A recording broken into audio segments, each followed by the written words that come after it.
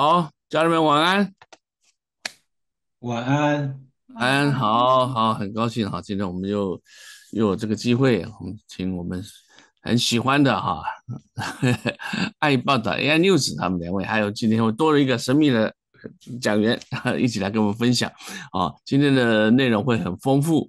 啊，所以我们就不浪费时间呀！愿圣灵大大的充满浇灌在我们当中，也愿我们听到的都能进到我们的心里面，而且不是只有放在心里，都能够付诸行动。我们该怎么做，当如何行？好，我们把时间交给伊登或者弗雷西亚。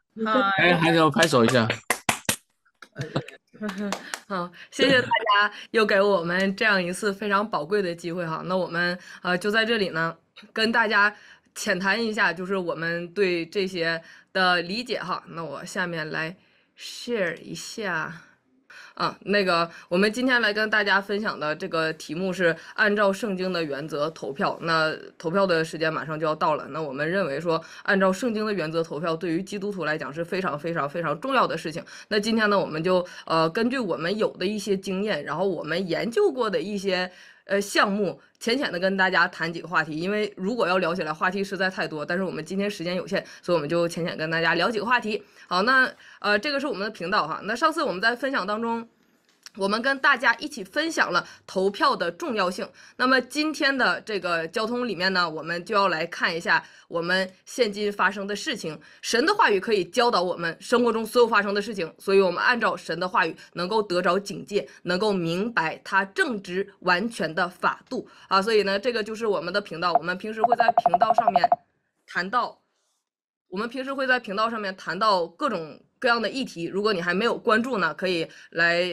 来这个关注一下我们的频道哈。那今天呢，我们的分享会针对呃六个议题有多方面的讨论。那我们进行的步骤呢，就是我们先会从圣经来看看神怎么说，然后我们会对比民主党还有共和党的党章，以及现在民主党和共和党推出的两位总统候选人来看他们对这些议题都是怎么说。好，那开始之前呢，想跟大家先来分享分享一节经文哈，因为神的律法真的是好可爱，而且是好甜蜜的。我不知道大家有没有这个感觉，就是反正我是在信主之前呢，我不知道啥是对，啥是错。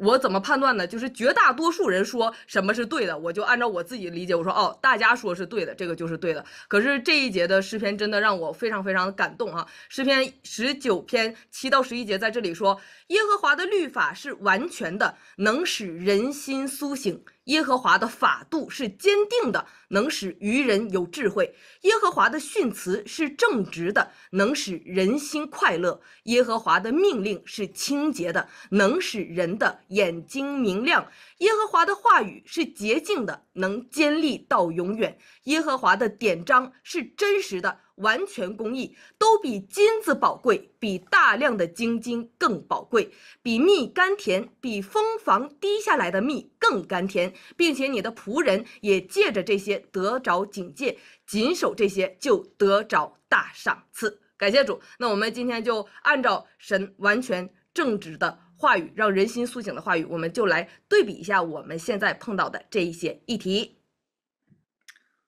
啊，第一个呢就是。每一个人都很在乎的，就是生命权，嗯，呃，堕胎权这个东西，其实在美国是非常非常大的，而且这次大选，呃，共和党其实有在逃避这个问题，因为这个是共和党的一个弱点，然后民主党就是一直在攻这个问题，那因为他们的支持者都几乎都是呃支持堕胎的，所以说我们就来看一下生命权。好，那生命权呢，基本上这里讲到呃三个事情哈，就是。你不管是听到说什么，哎呀，女性的自由选择呀，或者是说我的身体我做主啊，或者是讲到什么啊，是不是 reproductive rights，就是生育权利哈？其实他们讲的都是同一件事情。那么这个事情呢，这一个词是很多很多人不愿意提起来，不愿意听到的，因为感觉说这个太赤裸裸，然后太难听，感觉让人听到之后实在是太难过。那是什么事儿呢？讲的同一件事儿，就是堕胎。啊，那我们来看一下，我们先来看说圣经对这个问题到底是怎么说呢？哈，首先是呃，我们看到第一个例子就是诗篇一百三十九篇，看到说大卫大卫王啊，他对生命的认识是什么？他在这里讲到说：“我的肺腑是你所造的，我在母腹中，你已复庇我。我未成形的体质，你的眼早已看见了。你所定的日子，我尚未度一日，你都写在你的册上了。”所以这个是大卫。跟神的一个祷告，这个是他对生命的一个认识。他说：“我的肺腑是你所造。”他说：“我在母腹中，你已复庇我。”就是我们看到那种怀孕的妇女，对不对？大卫对这个事情有个深刻了解，就是我在母腹当中的时候，你已复庇我，而且我的体质还没成型的时候。其实他讲的这个没有成型的体质，是人类非常非常。早期的一个阶段，对吧？就是我们知道说，大家大概怀过孕的有个孩子都 大概比较会了解说人的生命历程，是吧？也看过那种图片吧，什么几周的时候长什么样，然后几周长什么样，然后慢慢慢慢慢慢就长很大。可是，在那个时候，就是甚至都没有 X 光的时候，大卫他了解这样一个事情，他说我未成型的体质。我觉得他讲的是很早的阶段，大概是什么精子跟卵子刚刚相遇，就是还还没有一个什么形状，我未成型的体质。他说你的眼早已看见了，所以神对他有一个非常美好的命定，大卫是非常非常了解的。那么除了大卫之外呢，还有另外一个人哈，耶利米书。耶利米是非常非常了不起的先知，一直到现在，我们每次读耶利米书，尤其是现在我们看到国家的情况，然后世界的局势，我们读到耶利米书的时候，我不知道大家有没有一种很扎心的感觉。我们都说啊，主啊，你的话说的简直是太对了，给我们很多很多的警醒。那么在耶利米蒙召的时候，耶利米到底是啥时候蒙召的？哈，在这里讲到说，耶利米说耶和华的话临到我说，这个是神亲自跟耶利米说的。神这么说：“说我未将你造在腹中，我已晓得你；你未出母胎，我已分别你为圣，我已派你做列国的先知。”就是这么早。就是这么早的时候，所以你知道，很多时候我们很难过，就是我们看到科技越来越发达，很多人又读了医学院，然后又那个本科念完念硕士，硕士念完念博士，博士念完念博士后，然后到最后留留在一个什么科研机构在那儿研究，研究了半天就说啊，这个这就是一团细胞，是吧？我们现在很多人得出这样一个结论，但是你知道。耶利米他没有任何的学位，他没有任何的学历，但是他听到的话是耶和华神亲自临到他的，这个比你的什么学历没有办法比哈。所以神告诉他说：“你未出母胎，我已经分别你为圣，而且我已派你做列国的先知。”那按照现在的话来讲，耶利米当时是啥身份？他不是耶利米啊，他或许那个时候名字也没起好，他只是一团细胞。但是神把这一团细胞已经分别为圣，而且已经派他做列国的先知。我想神有这样一个心意，不光在耶利米的身上，在我们每个人身上都一样，对不对？我们在母腹里面，我们也不是一团细胞啊，我们知道我们是被神拣选的人呢，这个身份是非常非常非常不得了的事情，所以。不用羡慕耶利米，我们现在也有机会可以做列国的先知。我们现在做很多很多事情，趁我们还活着的时候，还有生命气息的时候，哈，靠着圣灵来行事，我们可以做更大的事情。那下面一个更不得了了，这两个人例子啥例子呢？就是施洗约翰还有主耶稣。这里呢是讲到这个路加福音哈，一章四十一节、四十二节、四十四节，我在这里挑出来，这里讲说什么呢？说这俩两个怀孕的妇女见面了。哪两个怀孕的妇女呢？一个是伊丽莎白，伊丽莎白是施洗约翰的妈妈哈。那另外一个妇女是谁呢？就是玛利亚，玛利亚就是耶稣怀耶稣的妈妈哈。那这个里头讲到说说伊丽莎白一听玛利亚问安，所怀的胎就在腹里跳动。谁在里面跳？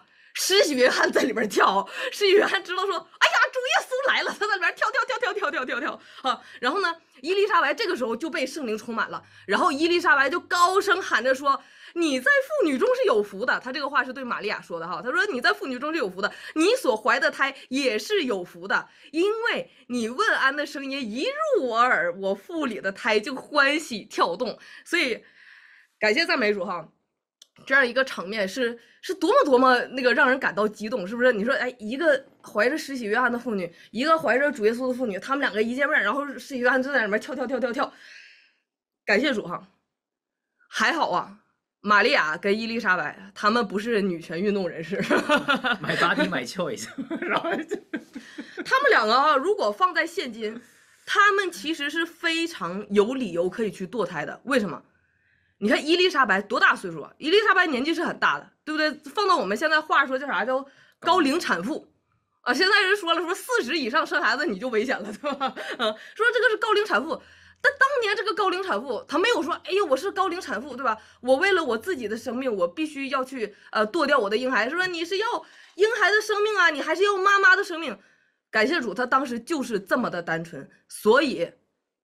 谁出了母父？施洗约翰出了母父。哇，我我每次读到施洗约翰的故事啊，包括到后来他是如何殉道的哈，我我都是感动到热泪盈眶，非常非常了不起的人，对吧？那另外一位更不用说了，感谢主啊，玛利亚她不是女权运动人士，是不是？你说玛利亚她更她更有理由了。哎呀妈呀，我一个大姑娘，这我眼瞅着要结婚了。什么事儿啊？这是啊，是不是？这这为了保存我的名声，为了让我的未婚夫还能要我，对你说这事儿你咋说？你说我是玛利亚，我都不好说。我怀孕了，是吧？那再说谁的？圣灵的。哎呦，大哥，你你你别你别编了，圣灵的，你说是谁的？对不对？就是这个事儿，你让全村的人怎么看你，是吧？尤其是那个时候，所以感谢主。好，他们不是女权运动人士，他们知道，他们了解生命的可贵，甚至他们那个时候没有像现在周全的检查，没有一个大标灯的医院可以让你去，但是他们了解到，而且他们知道，伊丽莎白跟玛利亚，他们知道他们怀的才是重要的生命，在神眼里看来是重要的，而且是神亲自赐给的生命，所以我们可以看到，在旷野中高声呼喊，为了主耶稣。铺平道路的施洗约翰，我们也看到那一位神的羔羊可以道成肉身，流出流出宝血，除去了我们的罪。所以感谢赞美主。好，那我们就看到从这四个人身上，我们看到神对胎儿美好美好的命定。这个是圣经里面给我们举的非常多的例子。很多呃人就说说圣经里面没有讲到说什么堕胎不堕胎，对吧？那个时候没有这个事儿，等等等等。但是其实你看到。神对生命的宝贵，神对胎儿的命定，还有美好的旨意计划，全部都写在圣经里面。主耶稣他自己就为我们做了一个非常好的榜样，还有见证。那么除了呃，我们了解到神对胎儿美好的命定呃之外，神的诫命也是非常清楚的告诉我们说不可以杀人嘛，哈，这个是十诫里面的内容。那在出埃及记二十章十三节在这里写着，就是说不可杀人。那不可杀人呢，是十诫里面的第六诫。那这个不可杀人的这个的原文直译就是不可谋杀，就是你不能说你故意的去杀人。这个谋杀这个词儿是带有贬义的哈，特指是蓄意而为的，就是我故意的，我知道我为了要杀他，我去杀他，就是我故意要去杀害这个人哈，然后是不义的杀害。那例如说，比如说你对一个弱者呀、无辜者呀，还有艺人的这样一个杀害，那这个时候我们就讨论到，就说堕胎这个行为，它是不是谋杀？呃，因为你这里可以看到，他要他要符合一点，就是说，这个人知不知道他是去干嘛的？很明显他知道啊。如果他要是不知道他干嘛，他可能就去超市了。他如果他不知道他干嘛，他可能哎看这边有 open house，我就去看一看买个房子了，对不对？他知道他是干嘛的，他知道这个地方是做什么的。他特别从网上查说我要找一个可以堕胎的地方，他特别开车过去，他特别进去问说，哎。如果把这个流掉了，我的身体会不会 OK 呀？然后你可不可以确保说这个手术成功啊？等等等等。所以妈妈是知道去堕胎诊所是要干什么，然后她也清楚的知道说啊，在我身体里面这个就是我的小孩。那么实行手术的医生知不知道要干什么？实行手术的医生知道要干什么，而且他用他在医学院里面学到的专业的知识去杀害这样一个人。所以这不是一个意外。这也不是毫不知情，这个是蓄意的一个计划好了的行为。而且我再再加一个，就是，呃，很多人说哦，这样这样，你你这都是圣经的东西啊，你跟普通的人讲没有用。嗯，其实所有的人都知道，肚子里的小孩是小孩，是一个人。就像任何那个孕妇在车祸里死掉，或者是任任何一个孕妇在什么被谋杀之类的。嗯。你都是判二两次的谋杀罪，为什么？你叫做一尸两命。所有的人在认识神之前都知道那是两条命，都知道那是两条人命。你都是以两个杀了两个人的方式来计算这个罪行的。为什么现在读了大学，读了这个这个都之之后，这些人就可以变不是命了？所以说，这个是我们可以去想的一些东西。嗯，继续。好，所以感谢主哈，让我们不至于说在这样一个世代里面。我们迷失了我们的方向。我们知道神的话语就是在这里啊。好，神也告诉我们说，不可以流。无辜人的血，在这里呢，我列出了三个经文哈，《生命记》、诗篇，还有耶利米书，在这里都讲到说我们不能流无辜人的血。那很多人就说这个啊，是吧？堕胎的胎儿都死掉那么多了，其实我也不是很在乎，再呃多死几个少死几个哈，这这那个人死了跟我有什么关系啊？啊，有有些人是这样的想法。可是你要知道啊，我们现在住在美国的这片地上，神是极其恨恶一片地上流无辜人的血。哦，你看，在《生命记》这个十九章里面第十节，他这他在这里说说，免得无辜之人的血留在耶和华你神赐你为业的地上，流血的罪就归于你。所以这个事儿不是说跟你没关系，跟我没关系。你说我平时不看新闻，我大门不出二门门不迈，我不知道了。这个这个多不多才你的问题了，这个其实不是不是你的问题。神告诉我们说，如何我们要好好的。居住在神赐给我们的这样一片土地上面，我们每一个人有一天都会死了，对不对？你也死了，我也死了。我们死之后，后代怎么办？你我们很多人移民到美国，不就是因为美国好吗？我们希望小孩可以在这里成长，我们希望我们的子子孙孙、后后代代都可以在这里很繁荣、很昌盛，一直在这边生活。可是神在这里说说，你要从以色列里除掉流无辜血的罪，使你可以得福。我们除掉流无辜血的罪，我们是可以得福。好，那在诗篇里面，他也是同样说说流无辜人的血，他在这里非常清楚的讲到，无辜人的血是谁的血？自己儿女的血，那地就被血污蔑了。好，那在耶利米书里面也说说怎么样呢？说如果说我们想要回转向神的话，我们能做的是什么？他说你们若实在改正行动作为，在人和邻舍中间诚然实行公平，不欺压寄居的和。孤儿寡妇在这地方不流无辜人的血，这个算是里面其中的一条，就是我们如何要改正我们的行动和作为。有一条是在这地方不流无辜人的血，神说他答应我们，我就使你们在这地方仍然居住，就是我古时所赐你们列祖的地，直到永远。所以这个问题不只是呃个人的问题，这是一一片地的问题，这是一个国家的问题。其实我们都在这里头。好那那我们来看一下哈，这个民主党的党章哈，二零二四年的党章。那么他们在党章里面对于堕胎的问题是怎么说的呢？呃，我有 highlight 几点哈。他这里讲到说说啊，拜登总统、副总统哈里斯和民主党正在努力的恢复女性在每个州的生育自由啊。然后呢，在这里又讲到说说。政府正在保护堕胎的获取，就是让每个人可以很简单的就堕胎呀。那其中是怎么样呢？他说，包括为药房开辟新的途径，让他们能提供 FDA 批准的堕胎药。也就是说，呃，民主党是希望堕胎可以变得越来越简单，就是你不用非得要去堕胎诊所里面，他希望说你只要去到一个药房里面，你就可以买到堕胎药，你就可以按照上面的说明回家。按时服用，你就可以杀死你的小孩啊。那么在下面呢，他还讲到说说，呃，这个隐私保护的问题啊。他说他要严厉打击非法分享个人信息的行为，同时还发布了学生隐私保护的指导意见。什么意思？学生的隐私保护，现在大家都知道，十二岁以上的小孩的病例，家长已经不能够查看了啊。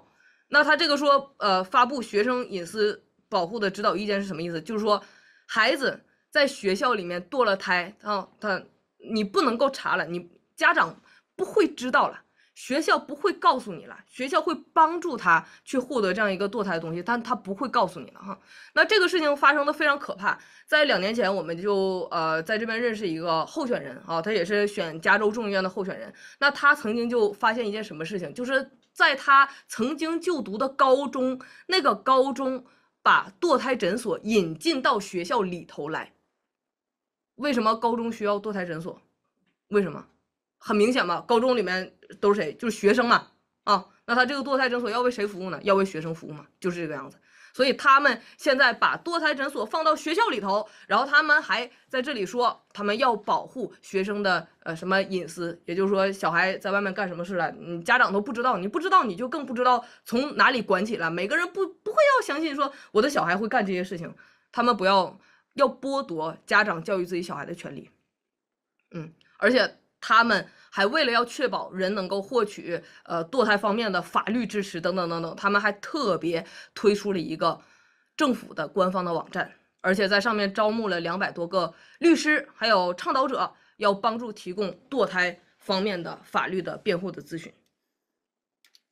那我们来看一下共和党的党章啊，在这里讲到说堕胎的问题是怎么说呢？他们在这里说说我们坚定支持家庭和生命。我们相信美国宪法第十四条修正案保障任何人在未经正当法律程序的情况下不能被剥夺生命或自由，因此各州有权通过保护这些权利的法律。经过五十一年的努力，因为我们的推动，这项权利终于回到了各州和人民的投票的手中。那它指到的就是 Roe v. Wade，呃，这样的一个终结。就是如果大家不知道的话呢，就是川普任命了三名最高法院的大法官，他们一起推翻了 Roe v. Wade。那这个 Roe v. Wade 在过去的五十年的里面，他们杀掉了有大概六千万的婴儿啊。那呃，就说。整个美国就是我们美国联邦不管这个事儿，你们每一个州自己去投票。如果你们州投出来说哦，我们不要堕胎，那就是不要；然后你们的州投出来说要，那就是要。就是这个事儿，联邦不管了，向下放到各个州里面哈。那他在这里讲到说，我们反对晚期堕胎，同时支持母亲啊，并且推动有关产前护理、避孕措施和试管婴儿的政策。好，那他写的这个东西呢，我们并不是说完全百分之百的同意，但是呃。但是今天时间有限，就没有办法挨个这样过去啊。我们今天就主要 focus 在堕胎的上面。那接下来我们可以看一下，就是民主党的总统候选人啊，Kamala Harris，贺锦丽，或者你叫她哈里斯，她在这个事情上面是怎么说的？Women's rights in America are under attack. If the court overturns Roe v. Wade, it will be a direct assault on freedom, on the fundamental right of self-determination to which all Americans are entitled. Roe protects the right to access abortion. It also protects a woman's right to make decisions about what she does with her own body. 好，呃，这个是民主党总统候选人来说的话哈。那接下来我们看一下共和党的总统候选人 Donald J. Trump 啊，川普总统他说的是什么？I think the six week is too short. Uh, it has to be more time, and so that's. 声音好像没有放出来，刚刚也没有。啊，是吗？有声音，刚刚有声有有声音。呃，有声音啊。哦，好，那那那那我来。接接着放了哈。I think the six week is too short. Uh, it has to be more time, and so that's, and I've told them that I want more weeks. So you'll vote in favor of the amendment? I'm, I'm voting that, I am going to be voting that we need more than six weeks. Look, just so you understand, everybody wanted Roe v. Wade terminated for years, 52 years. I got it done. They wanted it to go back to the states. Exceptions are very important for me, for Ronald Reagan, for others that have navigated this very, very interesting and difficult path. Our country's been torn apart by Roe v. Wade for years, for years. And if you go back 10 years, 15 years, all they wanted to do is they wanted it back in the states. They didn't want it to be in the federal government. I was able to do that. I believe in exceptions for life of the mother. If, if you look, incest, rape,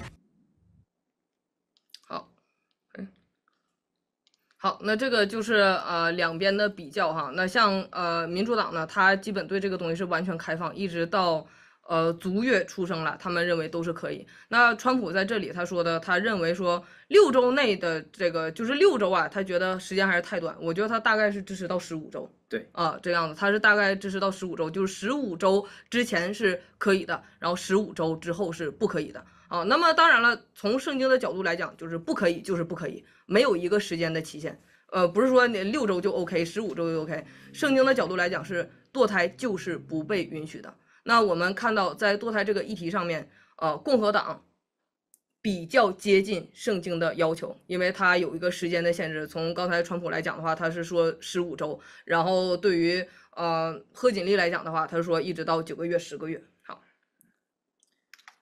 好，啊，那另外一个议题就是以色列的议题，因为现在大家应该都知道，现在那个地方正在打仗，然后它跟伊朗的那个关系。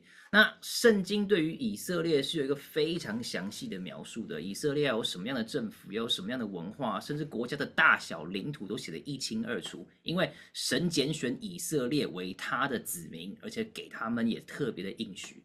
啊，创世纪十二章二到三节，我们请弗利霞帮我们念一下。好，我必叫你成为大国，我必赐福给你，叫你的名为大，你也要叫别人得福。为你祝福的，我必赐福于他；那咒诅你的，我必咒诅他。地上的万族都要因你得福。那这里强调了祝福以色列的重要性。以色列是美国的盟友，如果没有美国的话，以色列就会非常的难生存。啊，很多人说美国就是神给以色列最棒的祝福，这个绝对是真的。从以色列一九四九年建国开始，一直到现在，美国越支持以色列，美国的文化就越完善，越尊重神的律法，国力也越来越强，美国人也更受到神的祝福。而当我们越爱基督的时候，当我们就会越爱以色列。当然，这也不是说以色列不管怎么样都是好的。当以色列不顺服神的时候，神也是给了非常严厉的警告的。那生命记二十八章呃十五节，嗯，你若不听从耶和华你神的话，不谨守遵行他的一切诫命律例，就是我今日所吩咐你的，这以下的咒诅都必追随你，临到你身上。啊，底下就是一堆的咒诅的话的那个地方。那在圣经里面，受到最多祝福的国家就是以色列。但受到最严厉的惩罚的也是，也常常是以色列。神对于以色列有非常明确的要求。照道理说，照道理说，以色列人他们是要做的比地上的所有的人都好的。所以，当以色列背逆神的时候，拒绝遵守神的律法的时候，神的典章的、神的诫命的时候，惩罚就一定会来，而且神会亲自的去降下这个惩罚。那我们身为基督徒，我们应该要尊重以色列的历史地位，也要真正认识到，呃，以色列不只是这个国家，而且而是因为耶稣基督，呃，我们都是神的子民。啊，那在这边罗马书十一章十七到十八节，若有几根枝子被折下来，你这野橄榄得接在其中，一同得着。橄榄根的肥枝，你就不可向旧枝子夸口。若是夸口，当知道不是你拖着根，乃是根拖着你。对这段罗马书的经文里面，保罗提到呃外邦的基督徒说。我们不可以骄傲的去对待犹太人，不要觉得说哦，我们比他们还要厉害，我们要取代神学，而是要了解说，我们的信仰的根基就是来自于以色列，就是来自于犹太人。我们之所以可以强大，我们之所以可以有律法，我们之所以可以有圣经，我们之我们可以得到耶稣的救赎，是跟以色列脱不了关系的。而且神对以色列还有他的计划啊，这这这这就是。这就来到美国应该要怎么样对待以色列？我们现在应该要怎么样对待以色列？以色列现在又跟伊朗起冲突，跟附近的国家都起冲突，很多人就会说什么哦，以色列是中东国家唯一的一个支持 LGBTQ 的，OK，很邪恶，所以应该要被被灭国。其实我们不应该这个样子来看以色列。啊，诗篇第一百一十二篇第六节，你们要为耶路撒冷求平安，耶路撒冷啊！爱你的人必然兴旺啊！弥迦书六章第八节，世人呐，耶和华已指示你何为善，他向你所要的是什么呢？只要你行公义，好怜悯，存谦卑的心，与你的神同行。就是无论以色列是否符合神的旨意，我们要做的事情其实一点都没有改变。我们的国家还有我们每一个人，要以公义、怜悯的方式来去看以色列。最重要就是我们要保持谦卑的心，按照神的典章来去行事。如果以色列违背了神的旨意，基督徒应该要忠于圣经。我们要记得，我们跟他们一样，读的是神的话，表就表示他们是跟我们一样的，是敬拜神，敬拜的是神，而不是自己的国家。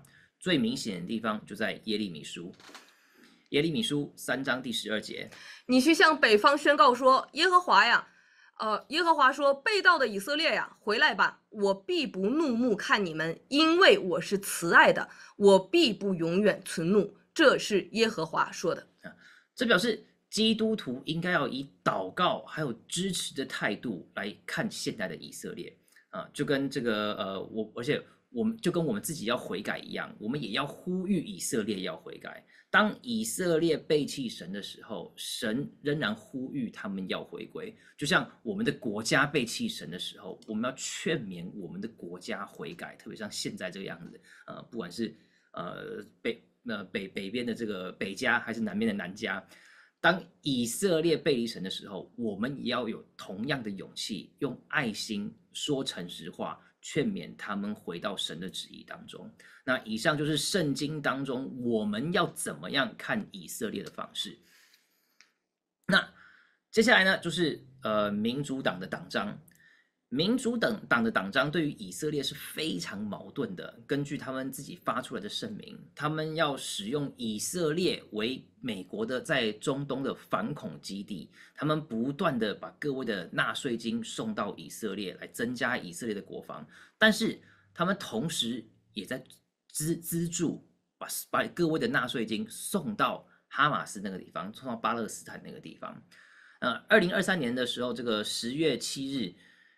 呃，哈马斯的这个攻击之后，拜登政府也给了哈马斯这个一堆的钱，这是很多很多批，OK，不只是这个啊。那这个给跟跟这个巴勒斯坦的政府有超过了这个三点六亿的美金，说这是人道主义的资助啊。然后也给了以色列二点五亿的军事资助，而且民主党对于以色列呃里面是党内是非常呃分歧的。民主党掌权的人是非常支持以色列的，很多赞助民主党的人都是犹太人，犹太人的大老板。所以，当民主党资助哈马斯跟巴勒斯坦的时候，他们会非常非常生气。但是，民主党基层却非常憎恨以色列，因为他们已经被民主党跟主流媒体教育成就是巴勒斯坦呃的人很可怜，长时间的呃生活在这个以色列的呃压迫当中，过着水深火热的生活。啊，天天都吃香蕉皮，啊，巴巴勒斯坦的领土被以色列占据啊，以色列是邪恶的，OK，应该要被灭国，OK，From the river to the sea，啊，Palestine will be free，啊，从约旦河到地中海，巴勒斯坦要获得自由，意思就是要彻底的消灭以色列这个政权这个国家。那共和党方面在以色列的议题上面，同样是有相同的矛盾，目前呃的这个战争的。呃，共和党基本上都是支持的，都是支持以色列的。但是共和党考虑到美国内部的财政问题，而在党内产生了分歧。绝大多数的共和党人，特别是我们这些传统的保守派，认为说美国在中东地区要有强大的盟友，以色列就是美国的长期盟友关系，呃，可以呃共同的面对哈马斯、真主党甚至伊朗的威胁。但是共和党如果有些人认为说，美国目前的财政赤字已经超过了危险的水平了。呃，各位都大应该都知道，全世界没有一个国家国债可以高到像美国 目前这个样子的啊。所以说现在这样子无条件的资助以色列，需要重新的考虑一下。很多共和共和党的人认为说，应该要把这些呃援助改成是贷款，然后呢这样可以帮助以色列，也可以保护美国的利益。那共和党另外一边的人呢，叫做孤立主义，认为说美国的内部问题已经很多了，现在没有任何的能力去呃增加外国的援助啊。虽然我们还是要保护，还有继续支持以色列，但是在美国的解决内部财政问题之前，应该要呃维持呃原本的资助，OK。那甚至要减少对于以色列的资助啊，不只是这个样子，不止对以色列是这个样子，目前对所有的国外的支出都应该这个样子。乌克兰、台湾、南韩、日本也应该有相同的态度。那接下来我们就来看一下，呃，民主党的候总统候选人贺锦丽他是怎么说的。I condemn this attack unequivocally. I'm clear-eyed. Iran is a destabilizing. Dangerous force in the Middle East, and today's attack on Israel only further demonstrates that fact. As I have said, I will always ensure Israel has the ability to defend itself against Iran and Iran-backed terrorist militias. My commitment to the security of Israel is unwavering. And let us be clear, Iran is not only a threat to Israel, Iran is also a threat to American personnel in the region. We will never hesitate to take whatever action is necessary to defend U.S. forces and interests against Iran and Iran backed terrorists. I condemn this attack. President Biden and I are working to end this war such that Israel is secure, the hostages are released, the suffering in Gaza ends, and the Palestinian people can realize their right to dignity, security, freedom, and self determination. 那接下来呢，我们就来看看共和党的总统候选人 Donald J. Trump 他是怎么样看以色列的。Save Israel, right? Save Israel. And when I'm back in the Oval Office, I will support Israel's right to win its war on terror. They have to have a right to win the war.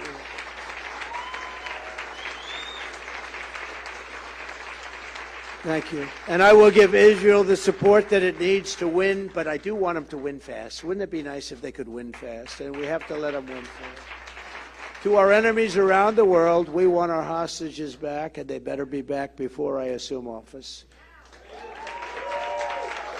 If Kamala Harris and Tim Walz are elected, the radical left flag burners and Hamas sympathizers will not just be causing chaos on our streets, they'll be running U.S. foreign policy in the White House, and Israel will be gone. It will, go, it will be gone. I never thought I'd say that a year ago, even two years ago. I never thought I'd say it. But uh, Israel will be gone, I believe. And remember, everything Trump said was right. Do you ever see the sign? Everything I said was right. I actually think it's true. 呀，那根据共和党跟民主党的党章，还有刚刚川普跟贺锦丽的这个片段，我们可以知道他们嘴巴上都是支持以色列的，但是双方的做法是非常不同的，而且双方的目标也是不一样。川普希望战争可以停止，而且美国要支持以色列用最快速的方式来停止战争。卡马拉·哈里斯的做法比较不一样。他这边要讨好民主党的基层对于巴勒斯坦的支持，然后他也会说他支持以色列，但是他认为战争会扩大，他认为说美国要介入战争，我们会 to take necessary action，也就是说美军呃要要出动美军跟以色列的国防军一起攻打这个伊朗还有周边的国家。简单的说就是他希望美国参战，而且他需要的是。美国的大众跟国会来支持他，让美国进入一场战争。川普则是希望美国不要参战，他希望就是可以给以色列很多的资源，在美国不参战的情况下，在没有美军呃美国的军人死亡的情况下，可以结束战争，而且越快越好。然后嗯。他在带领以色列跟周边的国家签订和平协议啊，这个是他在二零二零年的时候九月十五号就开始签署这个亚伯拉罕协议 （Abraham Accord），让以色列可以跟巴林、阿联、苏丹、摩洛哥 （Morocco） 都签署了和平协议。意思就是双方都说要支持以色列，但是民主党试图要扩大战争，而且希望美国参战。共和党则是希望在美国不参战的情况下，以色列可以靠自己的力量迅速的结束这场战争。好，那下一个是呃边境方面的问题哈，很多人会在这个上面呃纠结，就说哎这边境这圣经根本没讲到边境，那个非法移民很好，我们很爱他们，然后大家就快来吧，边境开放也没有问题。好，那么针对这个呃界限呢？这个还有就是国线的这个事情，圣经是怎么说的呢？在这里面哈，这个词叫 boundary 或者叫 border，就是这样一个界限。那这个词呢，在圣经里面又翻译成叫境界、边界、地界，还有疆界。那下面就是这些经文里面都出现过哈。那这个呢，他讲的这个 boundary 还有 border。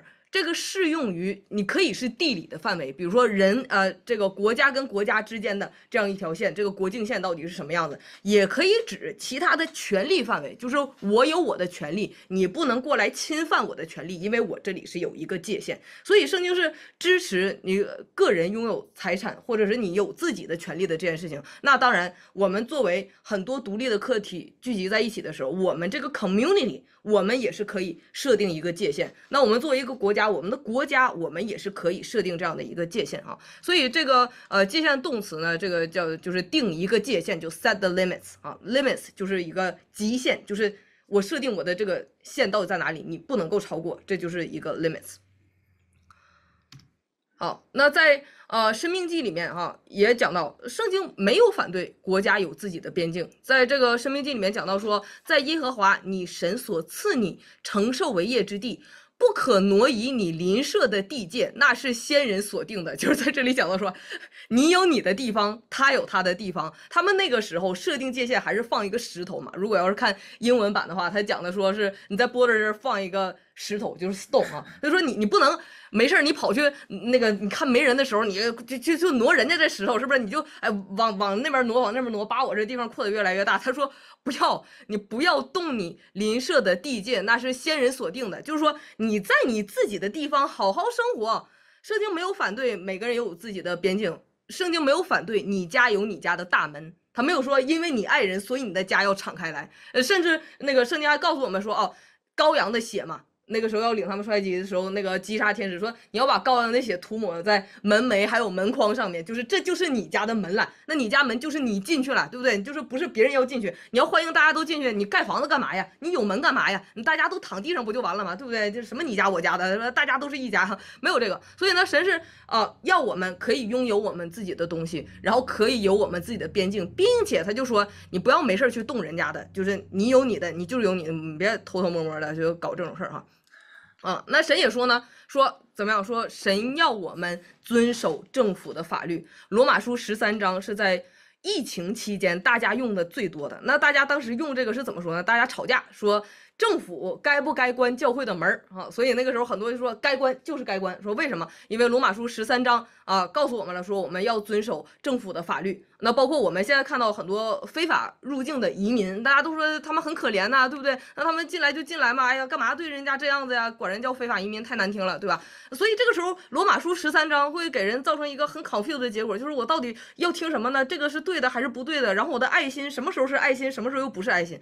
好，那神在罗马书十三章里告诉我们说，我们要不要遵守政府的法律？我们一定要遵守政府的法律。很多的时候，你可能觉得说，那不公平啊，凭什么什么什么？神说我们要遵守政府的法律，但是有一点，唯一的例外的情况就是我们什么时候不要遵守政府的法律？就是政府的法律强迫你违背神话语的时候啊。使徒行传这里面讲到说，我我到底我是那个听人的，我还是听神的，对不对？彼得这样说，所以。当政府的法律违背了神的话语的时候，我们要听谁的？我们要听神的。但是政府的这个法律它根本就没有违背什么神的话语的时候，那我们要不要听政府的法律呢？我们要听政府的法律，因为这个是罗马书十三章告诉我们的。而且呃，再加上一个就是。政府，我们我们把政府想成是一个王的一个方式存在，但是现在其实美国政府不是一个王的方式存在。美国政府是什么？它是在美国的宪法下面的。意思是什么？就是美国政府也要遵守美国的法律。美国的政府、美国的总统、美国的呃国会议员，没有任何一个人可以在法律下面有特权，他们也是在法律之下的。所以，当 Joe Biden 用什么行政命令去做这些事情的时候，其实他们是违法的。其实他们开放边境，边境美国的边境是有非常严密的法律在这个地方的，是他们犯法了。照道理说，如果说 Joe Biden 是一个基督徒的话，他就应他是个天主教徒嘛，他自己说的，他是很虔诚的天天主教徒，他应该要支持，他应该要守护这个法律才对。我们的总统，我们的国会，我们的警察。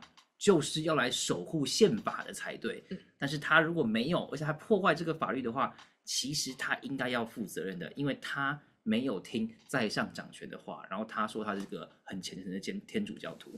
嗯，对，那我们也知道说，的确是，呃，尤其是在华人的群体里面哈，很多走线进来的非法移民，其实他们是想要追求一个更好的生活了，对不对？很多人说我来这边打工赚钱，呃，这边的一块钱等于中国的七块钱哈，他们是想要很好的这个生活，然后想要给家人提供喂养，然后他们也想要逃离贫困，这些目标有错吗？这些目标没有错，这些动机想要追求好的动机有错吗？没有错，但是。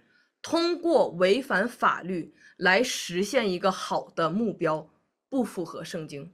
啊，照顾穷人、孤儿还有寡妇，的确是圣经要我们去做的事情，但是圣经没有让我们违反法律去做这些事情啊，所以呢，我们不应该支持开放边境，尤其是如果我们了解到开放边境其实给很多的妇女还有儿童带来性上面的拐卖。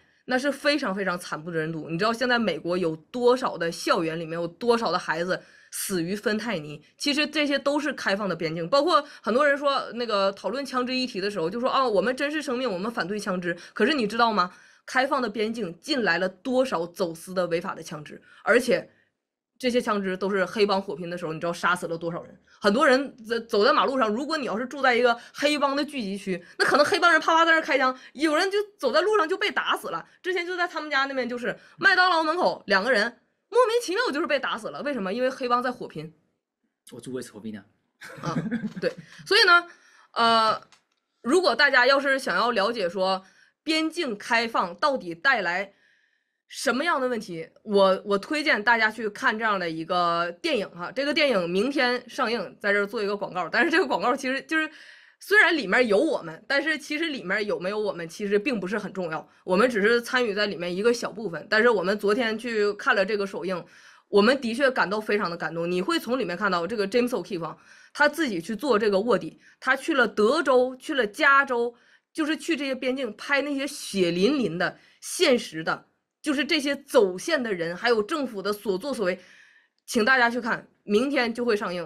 大家如果扫一下这个二维码的话，你就可以在网上看哈。他开到非洲去，然后呢，跟着那些要要来美国的人一起坐那个火车，上面全全身都是碳盖着这个，然后然后在那个地方一一堆人跟着一群这个他他西班牙语好像讲的也不是做的特别好，就是一起一起坐着这个火车上去，他这个花了非常多的心血，然后。我们很荣幸，我们既然可以参与到他们的拍摄里面，然后我们也去做了呃类似这样的事情。对，所以请大家如果想要知道边境发生什么事的话，欢迎去看。而且这不是一个很悲惨的一个电影，它是一个给你很多希望，但是可以让你看清楚现在到底在发生什么事情。我们要解决一个问题之前，我们要先知道问题是什么。很多问题就是在这个电影里面会被 expose 出来的。嗯，对，好。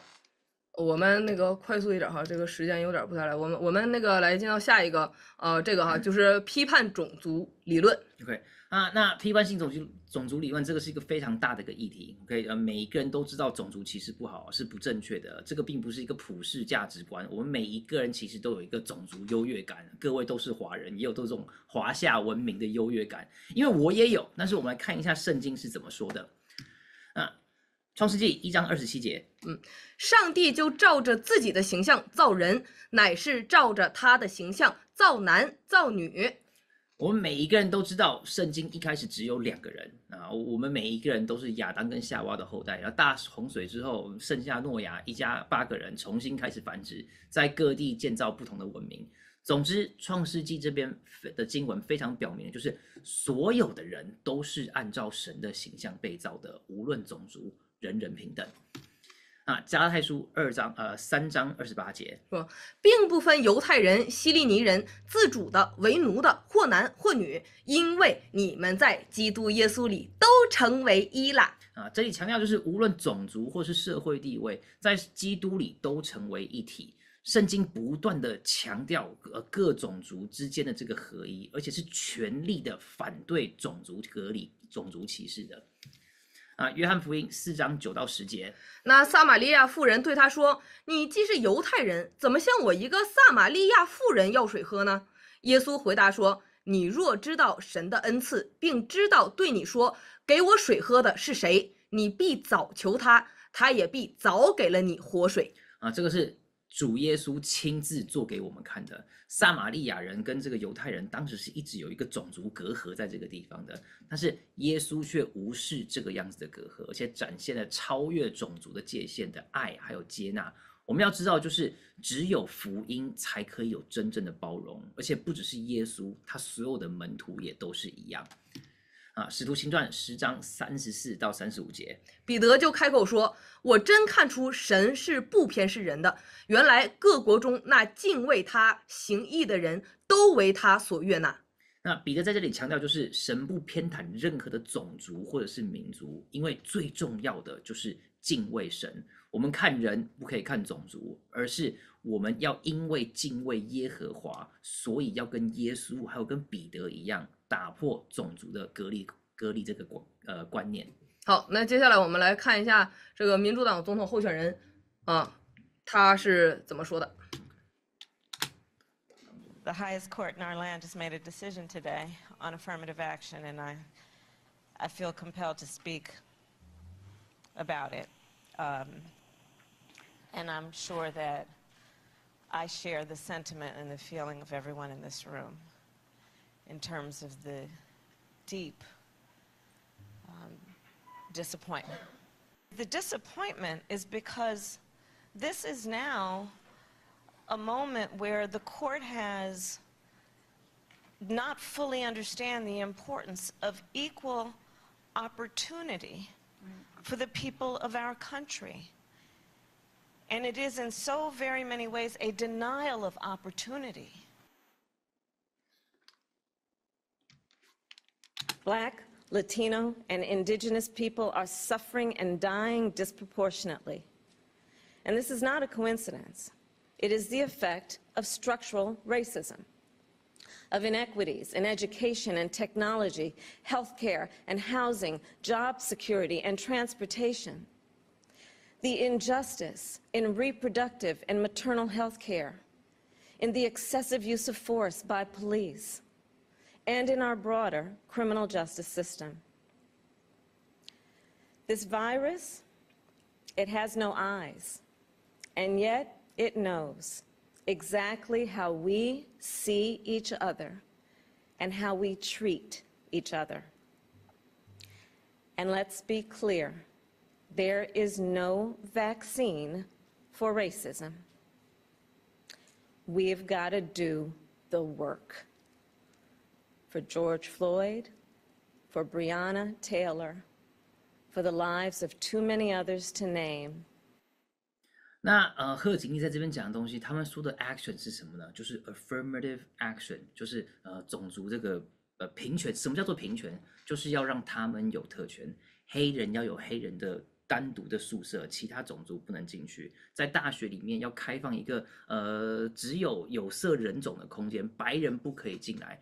他们想要打造一个种族特权，一个地区是可以有特权。他们想要。有一个疆界，一个边境在那个地方，他们然后其他的种族是不能进来的。简单说，就是他们想要回到一九六零年代那个时候的种族隔离政策，像说，呃，黑人只能坐在呃白那个巴士的后面，然后白人可以坐在巴士的前面，黑人跟白人的厕所要分开。那时候不是分男女，是分黑人跟白人。所以说，他们想要用任何事情在他们的眼中都是一个种族的议题。他们任何的，刚刚可以看到，就是呃，连连交通，然后呼吸的空气，几乎都是跟种族有关系的。然后的一切都是因为美国是个种族歧视的国家。各位感觉到有自己有被歧视吗？啊，一定是因为什么什么的，就是因为美国就是个种族歧视的国家。他们想要重新点燃这个种族歧视的火在我们的国家里面。那我们就来看一下共和党的呃总统候选人川普是怎么说的。Earlier this year, the Biden administration issued. new rules pushing twisted critical race theory into classrooms across the nation and also into our military. Our generals and our admirals are now focused more on this nonsense than they are on our enemies. You see these generals lately on television? They, they are woke. They're woke. We need a Republican Congress to ban critical race theory. You know, I had it banned through executive order and it was fine. And then when we didn't get in, they immediately reinstituted it, but it was all gone. But they have to get it out of our schools, and they have to ban it in our workplaces, and ban it in our states, and ban it in federal agencies, and ban it in our military.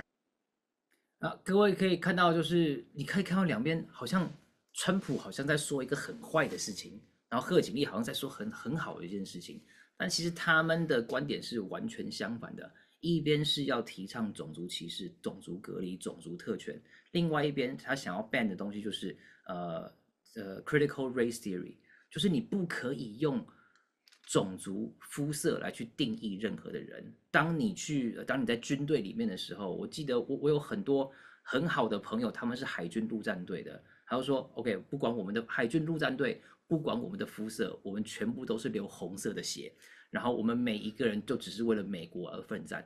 他希望创造这个样子，他希望创造一个人人平等，大家都可以靠着自己而努力，而不是说今天你是白人，你就表示说你你你之前是呃欺压别人的，所以说你之前你一定是有黑奴，然后呢你就要去付这个这个这个这个这个呃赔黑人的这个赔偿款。我我们现在在我们加州刚过了一个就是黑人的赔偿赔偿这个法案，就是要把钱。给啊黑人的这个族群，为了要补偿他们，各位要知道，就是加州从来就没有过黑奴过。加州是一个加入到美国的时候就是一个反奴役制度的一个国家，所以加州的人，加州的各我我相信各位大家应该都跟我都一样，都是移民来这个地方的。我们更没有有过黑奴过，而且只要是人往上追几倍。都一定可以发现说，哦，原来我之前的这个曾曾曾祖父是个奴隶还是什么样子的？所以说，呃，我们想要做的事情，呃呃，不是不是，呃，共和党想要做的事情，就是要有一个没有任何用肤色来定义任何人，然后没有用肤色来批判任何人。我们要禁止的 critical race theory 是我们想要阻止种族隔离、种族呃分分离，然后我们不想要在像一九六零年代那个样子的事情再度发生。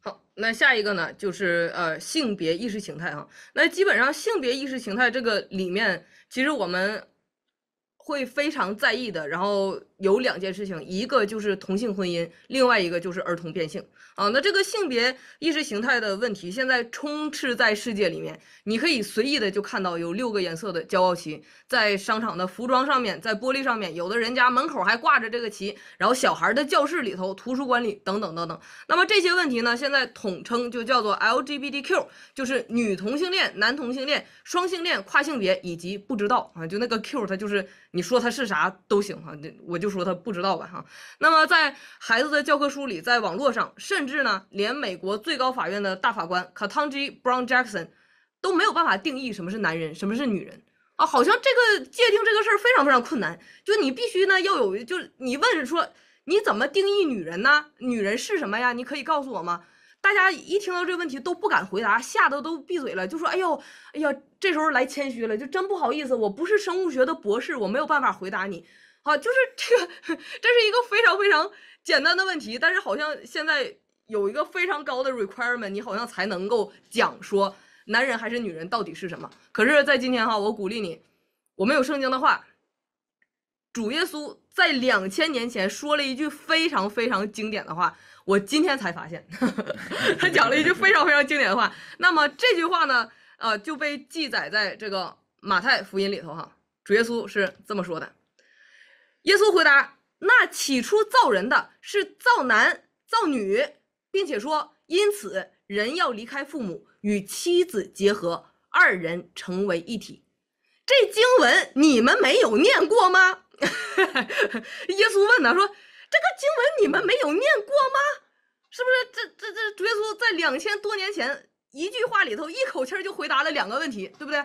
性别有几个？”主耶稣说：“起初那个起初造人的哈是造男造女几个两个哈，然后呢，嗯，你现在有人说了说那同性恋能不能结婚啊？主耶稣也在这一句话里同时回答了，说怎么样，人离开父母要与妻子结合，女的啊两个人成为一体。然后呢，主耶稣说完了之后还反问说：这经文你们没念过吗？”啊，说这经文你们没念过吗？我今天 看完了，我笑了很久。我说是啊，主耶稣，谢谢你，这经文念过啊。所以我们念过的人，我们就必须要知道，神造人两个性别，男和女的。好，那谁想要推翻最基本神创造的秩序，就是撒旦，没别人。而且撒旦呢，欺骗你啊，对不对？这个在呃约翰福音八章四十四节里面告诉我们说，说他是谁？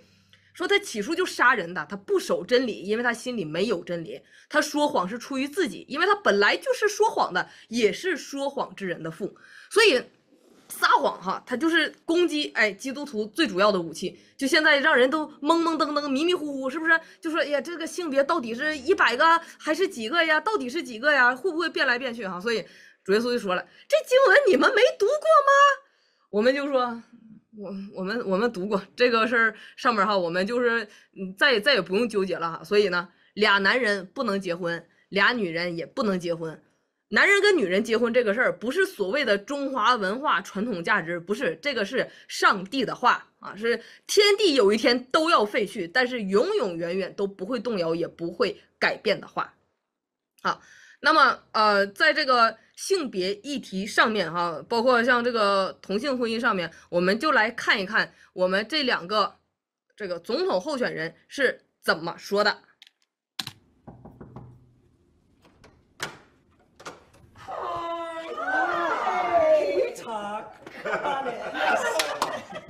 Back in 2006, GLAD reported that just over 1% of TV shows featured LGBTQ characters. Fast forward almost two decades later, and that number has increased to nearly 11%. It was such an incredible, groundbreaking thing that history now, 20 years later, I think everyone understands what you guys did. Well, here's what I worry about. You got a guy who says, hey, we're not stopping here. You know gay rights are next. You Clarence know it. Thomas said it. Yep. Who doesn't have gay people in their life? I actually was proud to perform some of the first same sex marriages as an elected official in 2004. So if you're a gay couple, you can't get married. We were basically saying that you are a second class citizen under the law, not entitled to the same rights as a couple. The court that Donald Trump created that it's is insanity. openly talking about what else could be at risk. And understand if Donald Trump were to get another term, most of the legal scholars think that there's going to be maybe even two more seats that'll be up. That means, think about it, not for the next four years, for the next 40 years, for the next four generations of your family, what might be a Supreme Court that is about restricting your rights versus expanding your rights. 好，那个谢谢卡马拉·海瑞斯哈，他解释的非常非常的清楚。也就是说，如果川普再当选的话，会有两个最高法院的大法官空出来哈。那么空出来呢， 嗯，大家知道川普之前就任命了三个保守派的大法官，所以杀无辜人血的罪在联邦的层面停止。好，然后呢，他在这里讲说，下一个他会攻的就是 LGBTQ，就是同性婚姻的这一块。所以他说，在接下来的四代，你是想要 LGBTQ 更多？然后更多的同性恋，更多的乱性，还是你想要他们好好的按照神的真理还有话语去生活？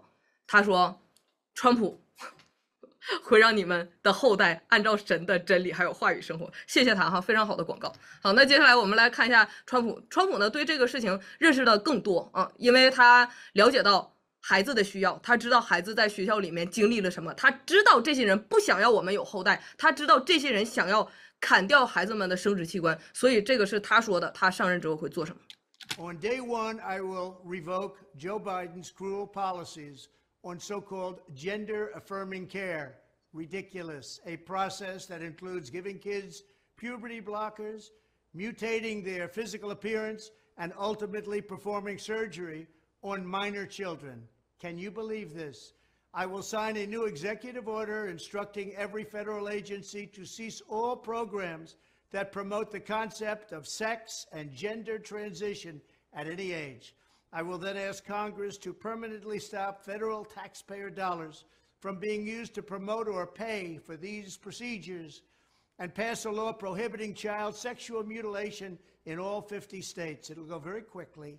I will declare that any hospital or healthcare provider that participates in the chemical or physical mutilation of minor youth will no longer meet federal health and safety standards for Medicaid and Medicare and will be terminated from the program immediately. 好，呃，他讲的很全面，就这个他后面还讲了更多的那个法律法规，就是他会做的事情。但是因为时间的关系，所以我把前面一段我觉得比较重要的地方给接下来了。他在这里讲的东西。我都完全同意，而且我觉得这些事情应该是马上马上就应该被做到的事情。但是哦，非常可惜，呃，在民主党的方面没有听到这样的声音。那接下来就是呃，均富、收入均等，这个呃每个人对于公平的定义都不一样。一直直到金钱出来之后，人就开始有一个共享、共产、支配的资产分配的这种想法。那这种想法很简单，就是那个人未免太有钱了吧？我有钱的话，一定会怎样怎样。如果我今天是那间公司的老板的话，我一定会对我的员工怎样？就是简单说，就是我一定会是很慷慨的使用别人的钱，一个极度贪婪的一个思想。那政府也是这个样子，从希腊罗马的这个公共澡堂，到现在的这个全民健保、社会安全号码 （Social Security） 这些东西，其实是一直都是存在的，直到。马克思跟他的朋友恩格斯出现，那把这个一切合理化的这个人类贪婪的东西写成了一个经济学，就是社会主义跟马克思跟共产主义。那圣经是怎么说的啊？君父这个样的东西，这样东西，呃，这个情况是只要有人类就一定会发生的。我一定会慷慨的使用你的钱，因为实在是太简单了。使徒行传第二章，呃，四十四到四十五节。信的人都在一处，凡物公用，并且卖了田产家业，照个人所需用的分给个人。啊，《使徒行传》第四章三十二节。那许多信的人都是一心一意，没有一个人说他的东西有一样是自己的，都是大家公用。那这里被很多的呃共支持共产主义的神学家，还有骗钱的牧师说啊，这是一个资产共享。OK，这是圣经是支持共产主义的理论的。啊，但是其实，呃，这样其实，这当当初这个初代教会的时候，他们这个样子做的时候是自愿的，没有任何人强迫他们，而且他们是出于爱的，跟社会的需求去做，不是为了一个什么崭新的生活方式啊，他们他们是为了一个呃崭新的生活方式，叫做教会，是透过圣灵的运作，还有彼此的爱，还有信任，在没有任何私心的情况下，建立了一个。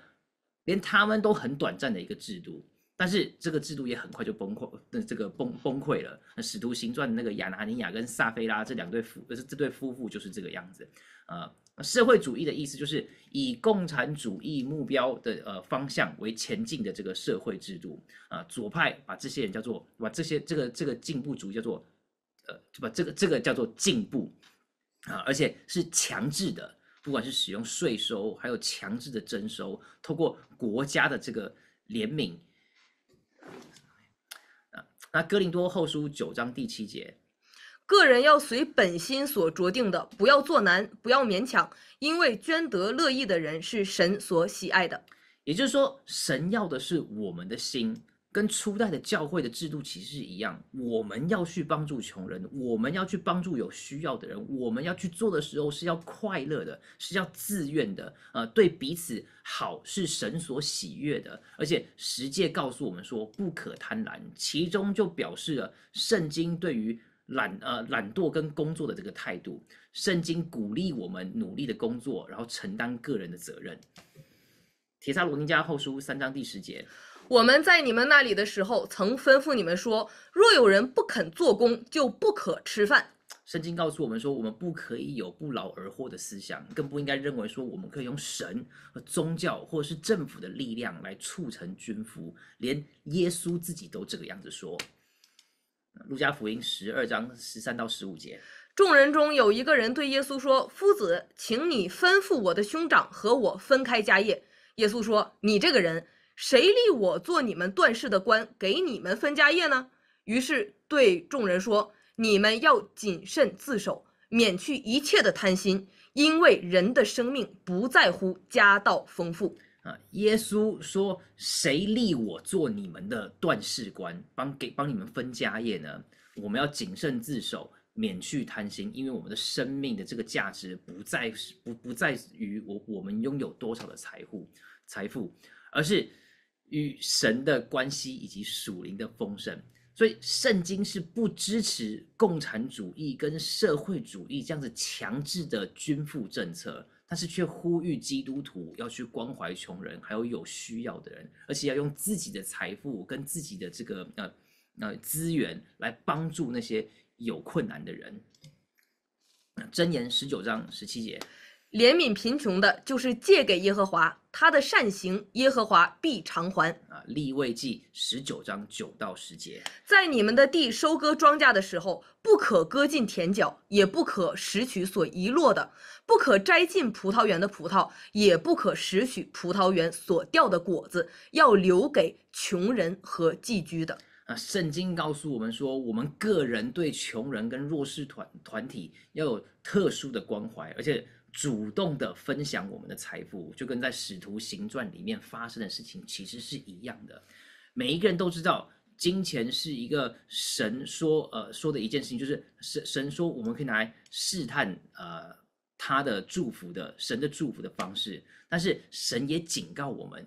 金钱也是神最好来试探我们的方式啊！提摩太前书六章呃第十节，贪财是万恶之根，有人贪恋钱财，就被引诱离了真道，用许多愁苦把自己刺透了。马太福音六到呃六章十九到二十一节，不要为自己积攒财宝在地上，地上有虫子咬，能坏。且有贼挖窟窿来偷，只要积攒财宝在天上，天上没有虫子咬，不能坏，也没有贼挖窟窿来偷。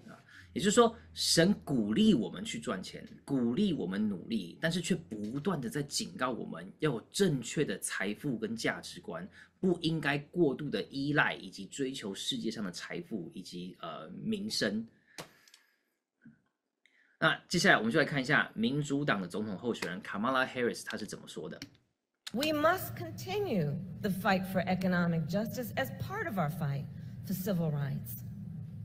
And economic justice, then, we know, is our collective commitment to equity and to make sure all people have access to opportunity. It is the fight for paid leave and affordable child care to permanently expand the child tax credit, to cancel student loan debt, to provide access to capital for small business owners and entrepreneurs, to make sure all families can buy a home, and to protect Social Security and Medicare from attack.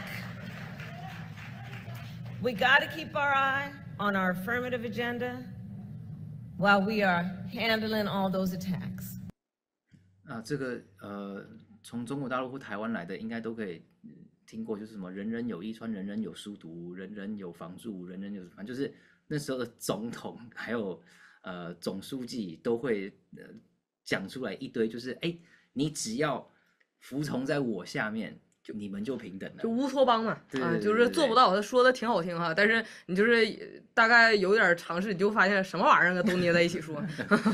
那我们接下来我们来看一下川普总统呃候选人，呃共和党总统候选人 Donald Trump 他是怎么说的？We cannot have free and open trade if some countries exploit the system at the expense of others. We support free trade. but it needs to be fair and it needs to be reciprocal. Because in the end, unfair trade undermines us all.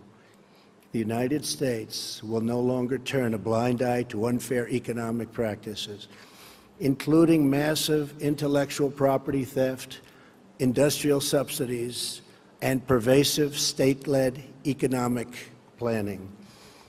These and other predatory behaviors are distorting the global markets and harming businesses and workers not just in the U.S. but around the globe.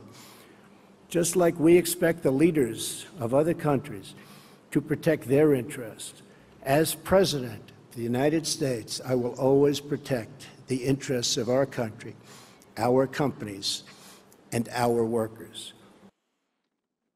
Here is the deal that I will be offering to every major company and manufacturer within our country. I will give you the lowest taxes, the lowest energy costs. I will cut your energy in half. The lowest regulatory burden and free access to the best and biggest market on the planet Earth, but only if you make your product here in America and hire American workers for the job. You know, 简单说就是，川普的政策是支持自由贸易，支持资本主义，支持你可以创造，你可以公平的在市场里面竞争，来创造属于你的财富的。你可以创新，你可以提供更好的服务，来去为了你的财富、为你的资产来奋斗。但是贺锦丽方面，他会他是说的是，我想要大家都公平。他想要去呃控制这些钱，控制你的钱，控制我的钱，控制所有的人钱，提高大家的税收，让所有的人都活在赤贫之下，然后让政府公平的发给大家，公平的让大家都可以均富，达到一个呃呃大家都没有任何比较的一个乌托邦。这个就是共和党跟民主党最主要的两个差大差别。嗯。好，那非常感谢大家。今天跟大家呢，很匆忙的、很仓促的讨论了呃六个议题哈，是按照圣经的原则如何去思考，如何去投票。好，那接下来我们有非常精彩的关于这一次加州公投案的十个法案的分享。好，下面让我们一起来欢迎蜜姐妹。谢谢大家好，我可以要那个 host co-host，我要 share。那。在这个过程当中呢，我知道现在时间也有一点晚，那我很快就可以吗？OK，好，等一下。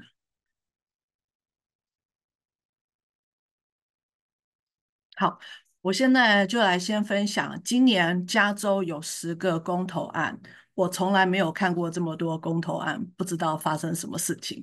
但是呢，我们就先来讲。提案二是授权发行用于学校、公立学校跟社区大学设施的债券跟立法的法规。提案三，婚姻的宪法权利，它是属于立法宪法的修正案。提案四，授权发行用于安全、水资源、野火预防以及保护社区和自然土地免受气候风险影响的债券。也是一个立法的法规。提案五允许在获得百分之五十五选民批准时，允许为可负担住房和公共基础设施发行地方债券，它是属于立法跟宪法的修正案。第六个提案允取消允许被监禁者非自愿服劳役的宪法规定，所以它也是一个宪法的修正案。第三十二号提案提高最低工资，这个是一个倡议性的法规。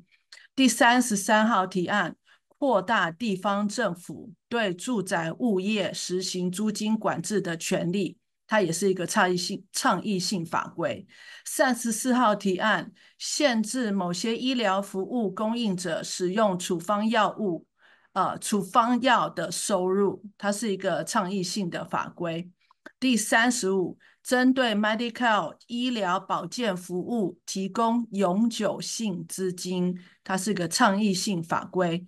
第三十六号提案允许对某些毒品和盗窃犯罪提出重罪指控，并加重刑罚，它是一个倡议性法规。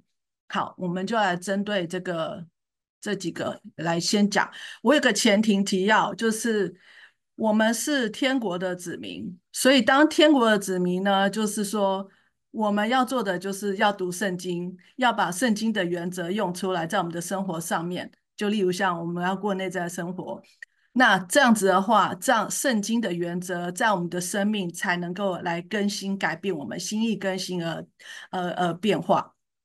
同样的，地上的选民，我们也有我们要读的东西，就是美国宪法。圣经世界观 （Biblical Citizenship），然后还有就是最基本的 选举手册。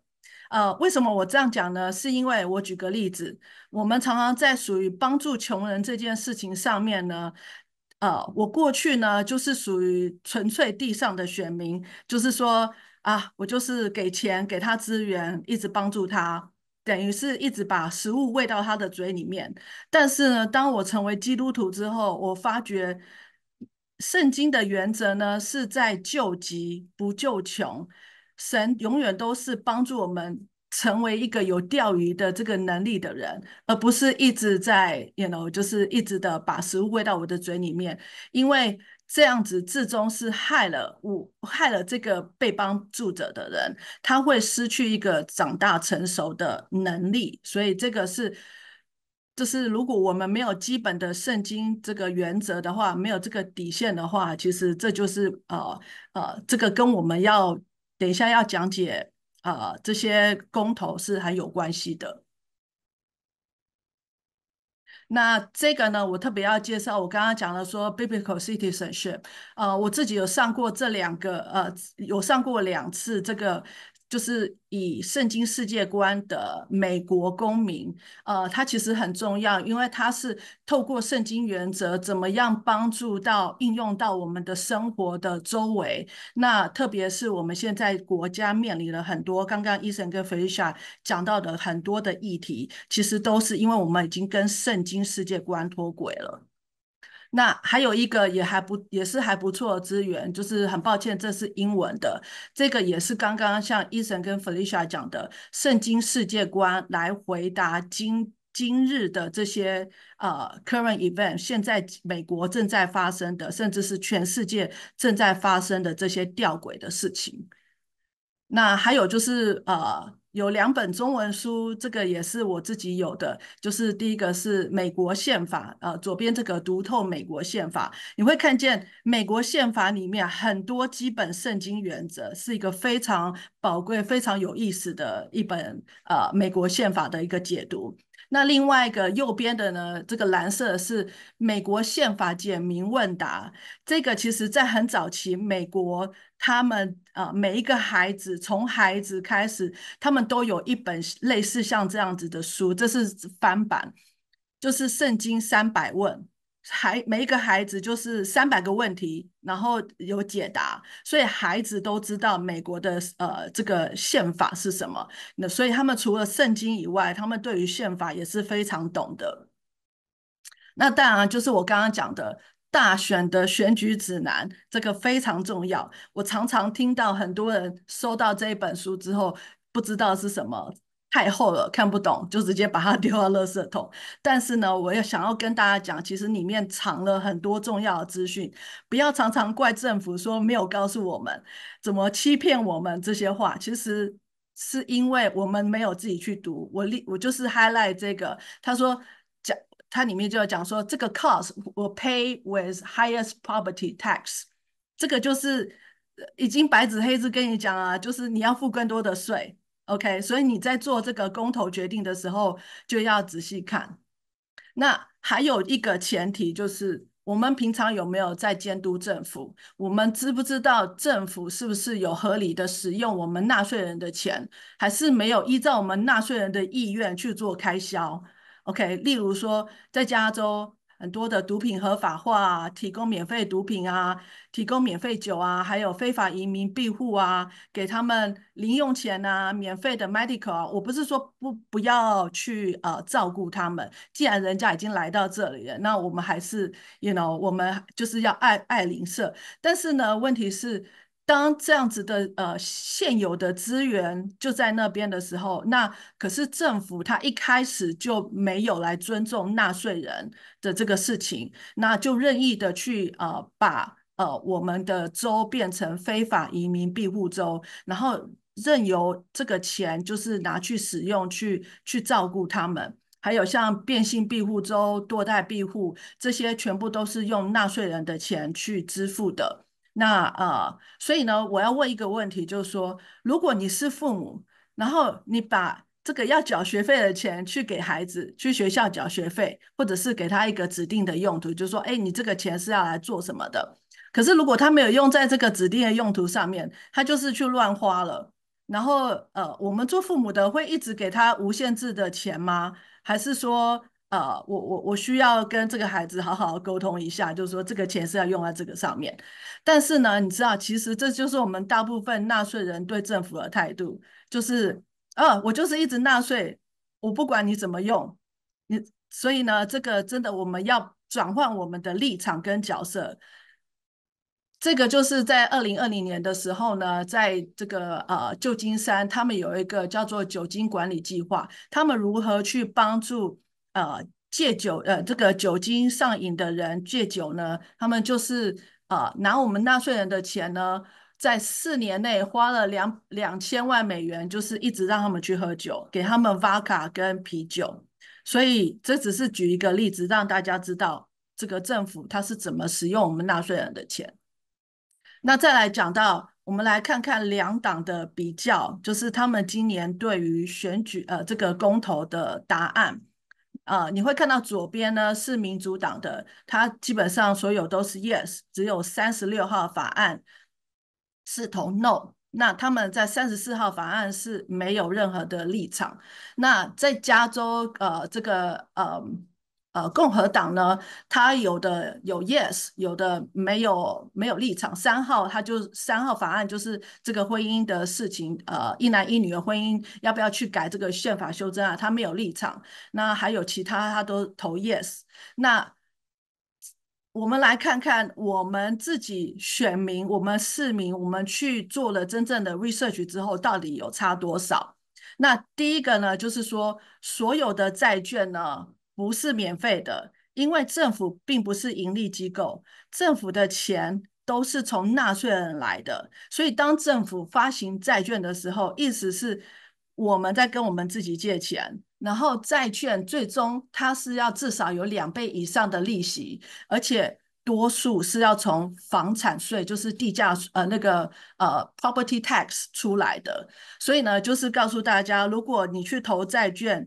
Yes 的话，你支持债券的话，那你会你会知道你的房产税就会慢慢的增加，这样。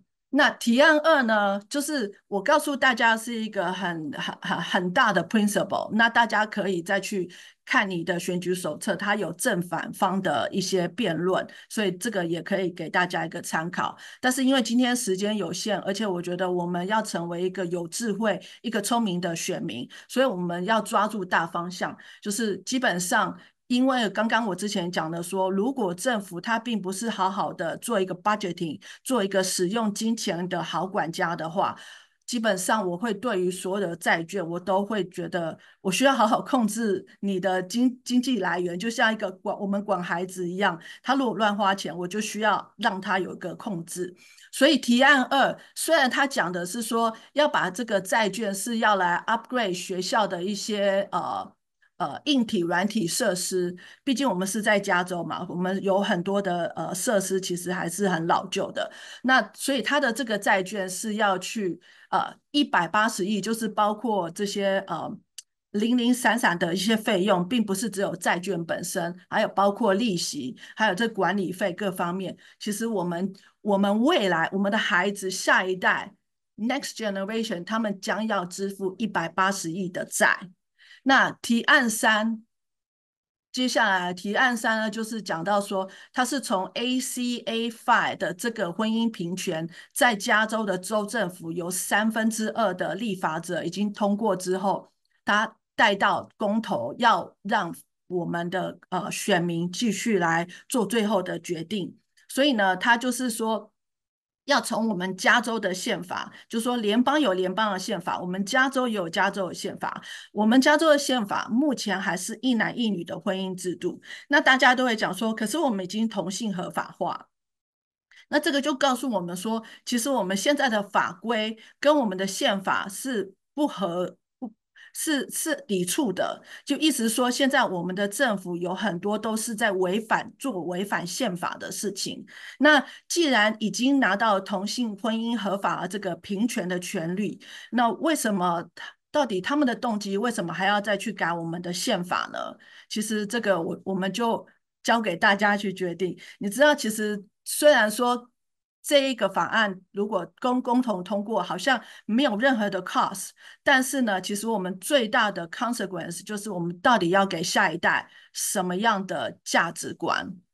这个是一个非常严重的道德问题。这个道德问题一旦发生之后，其实都会影响到我们生活的层面。就像刚刚医生 Felicia 讲的，其实有很多的事情都是人心出了问题。没有符合圣经的规矩，没有符合圣经神怎么说，所以很多东西一旦脱轨了之后，或许暂时没有看出来什么样的后果，但是其实我们住在家中，我们已经看到很多后果了。那提案四呢，也是一样，它是一个债券，那一百亿。我们是不是要让孩子继续背呢？那这个提案是为什么我们觉得要 no 的原因，是因为事实上我们自己平常在纳税里面，政府就应该平常要去做 maintain 这些公共设施，甚至在联邦都有这个野火干旱预防的这些很大的资金来从联邦拨款到州，所以其实只要我们好好用钱的话。嗯，其实我们是不缺钱的。那再来提案五呢，就是讲到说宪法修正案。提案五是一个非常呃非常算是复杂的，但是呢呃大家这个嗯，我尽量解释的清楚哦。其实提案五这个事情是说要把这个房产呃房产税呢，通常有关税的这个税率呢，呃你要嗯。除了在加州的这个立法者三分之二通过以外，它还有一个就是要放到公投上面，让选民也要有三分之二的通过。所以呢，这个房产税如果他们要调降税率、升税、降降税什么，通常都是升税啊，没有降税这个事。升税的话，就是这个门槛，我们投票的门槛就比较高，因为这个都这个很重要，不能随意乱。不能随意呃，就是让让它去发生，所以呢，他们其实是要把三分之二的投票门槛降到百分之五五十五，意思是说他们比较容易从我们纳税人口袋拿这个钱。那呃，其实你知道，我们现在无论已经是背了很多的债务，然后还有这现在这个，如果说这个呃房产的东西，如果让它通过的话，其实我们真的是非常以后在呃。我们会更多人买不起房子，我们的孩子已经养不起孩子，也买不起房子了，所以这个只是会更加重整个房地产的市场，是非常的 disaster。然后提案六呢，就是讲到它也是一个宪法修正案，那它讲到说这个奴隶，那事实上呢，我们要讲的就是说，其实，在监狱里面呢，它有一些辅导的机制，就是讲到在台湾我们叫做更生人，就是说。我们需要给他一些教育，然后让他回到社会的时候不再去打砸抢啊，然后要做一个就是就是说你要去工作，你才会有这个呃有种才有收这样子。那但是呢，现呃或者是说我们一个小孩子，如果他玩玩有玩玩玩具的话，他要自己把东西收好，那这个是他自己的责任，他自己要长大成熟做这个部分。可是现在呢，加州整个的立法跟呃，对于罪犯来讲，他们是非常宽待罪犯的。他们觉得，即使这个是跟生人的其中一一个辅导的部分，但是他们都把它讲作是奴隶。所以呢，他们也想要把这个宪法改掉，就是说，哎，这个部分呃，犯人不要，我们不能奴隶他们。其实这是一个很糟糕，就是我们剥夺了他成熟、长大成熟、恢复一个正常人的这个呃权利。然后再来提案三十二呢，就是讲到最低加州最低工资每年根据通货膨胀来调整。那事实上，政府它并不是呃这个这个老板。就是说，我们每一个呃做小生意的都知道，就是说，如果我有赚钱的话，那我就可以给我员工调薪水，或者是我的员工他的表现好的时候，我给他一些奖励。但是呢，如果是透过政府来规定这个呃这个呃企业家或者是呃小小生意的人，就是说我不管你赚多少钱，你。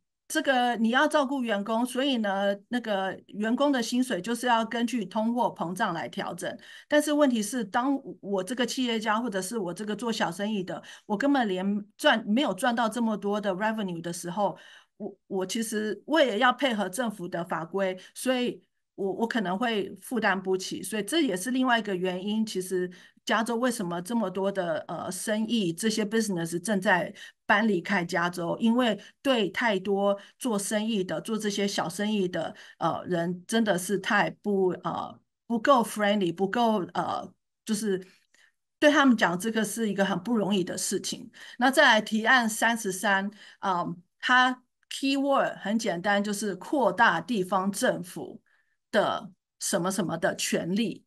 那呃，其实我们如果你有去读美国宪法跟啊美国的这个经济的话，其实还有。美国的政治体系的话，其实就有讲到大政府跟小政府。那事实上，美国我们是呃在早期先祖他们是要讲小政府，因为当政府一直在扩大权力的时候，就像前前面讲的，就是说政府太过大权力的话，会呃会变成一个一党专制，那其实人民的权利就会微小。那如果就是绝对。权力就会有绝对腐败，所以呢，这个就是我们要很小心。那在提案三十四呢，其实大家对这个有的是 yes，有的是 no，但是呢，事实上提案三十四号其实对我们来讲，我们无论投 yes or no，我们都是吃亏的。那呃。所以至少我们看到 Silicon Valley Taxpayer Association，它就是说投 yes。那也有律师在不同的平台，他就讲说是 no，有什么样的原因？那我觉得其实相对于其他的，像刚刚三号的法案，就是讲婚姻制度啊，或者是这个呃这个呃奴隶制度啊，或者是五号提案，这个跟我们的房产，其实三十四号提案相对来讲这个。这个还，you know，既然我们怎么投都是吃亏的话，我们就是，you know，但也就这样子了。那三十五号提案呢？为什么我们会是反对呢？是因为，就是你要看到 key word，就是它是一个永久资金。那这个州的成本就是有二十亿到五十亿。那无论他在讲到说，呃，要要要怎么样，要计划生育什么的，其实很多时候内容我们不见得看得懂，但是你就看那个 key word。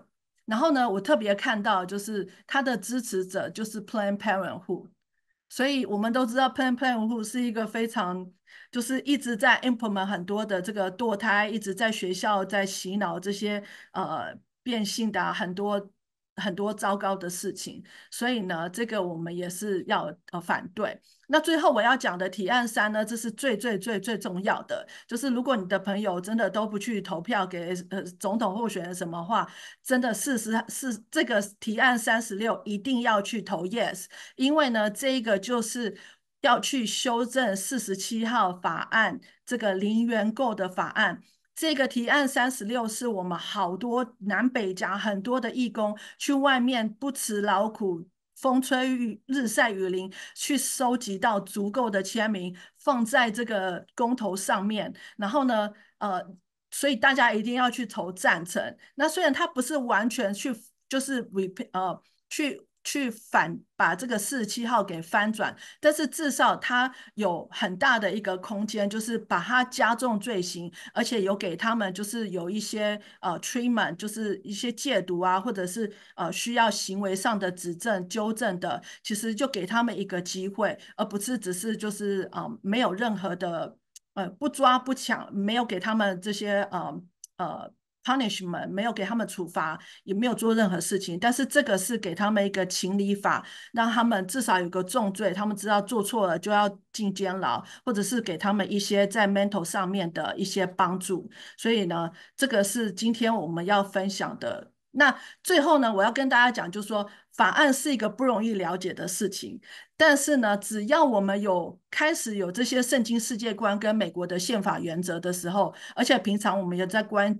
监督政府，只要把握大原则，其实八九不离十，我们就可以投出一个还蛮还蛮对的答案。那这就是我今天要分享的，谢谢。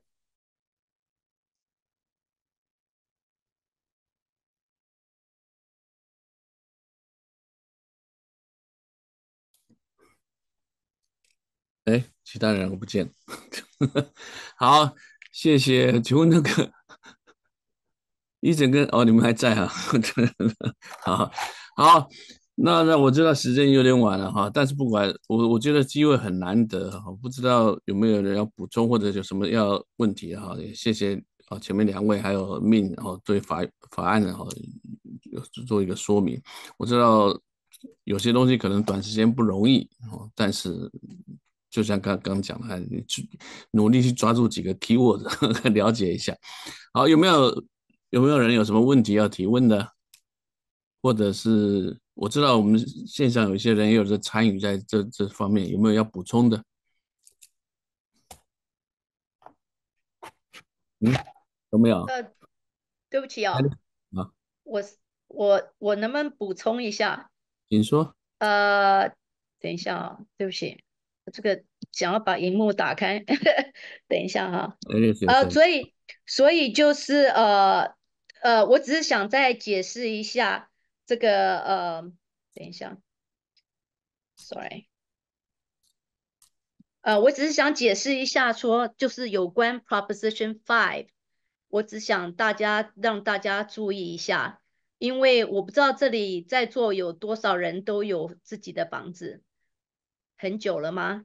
就是想请问一下，因为不知道大家对对 Proposition Thirteen 熟不熟悉？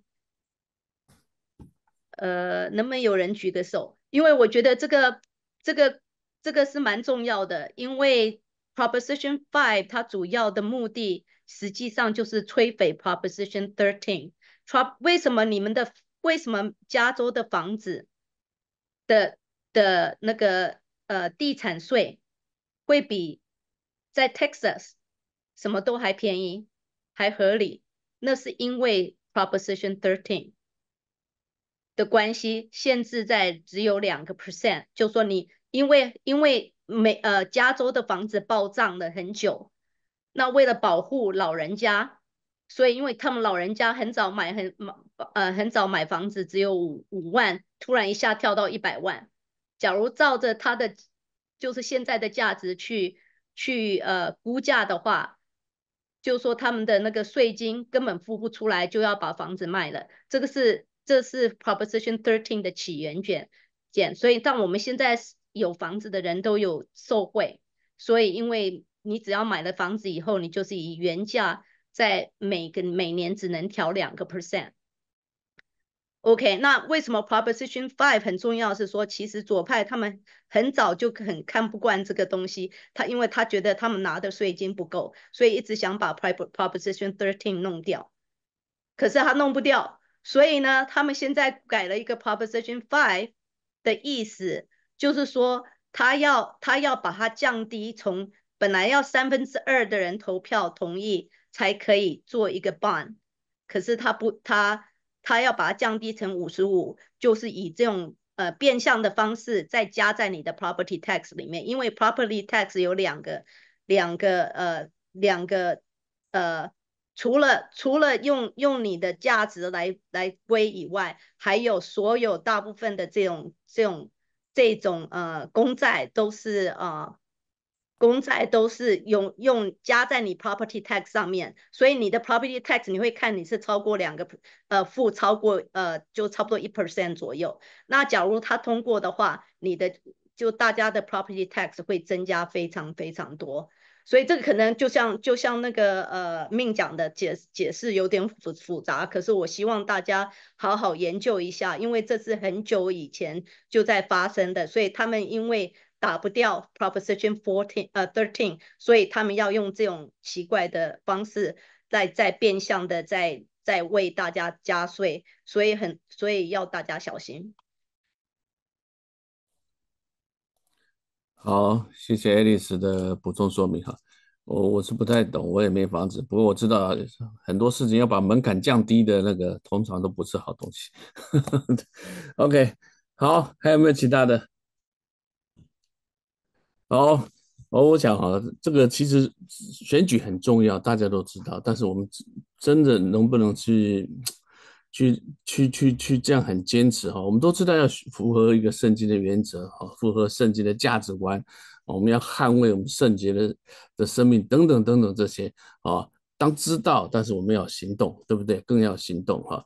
那个我刚刚我就想到雅各书里面有提到说，他说什么？人若知道行善，却怎么样？不去行，这就是他的罪啊。有没有这个圣经不讲？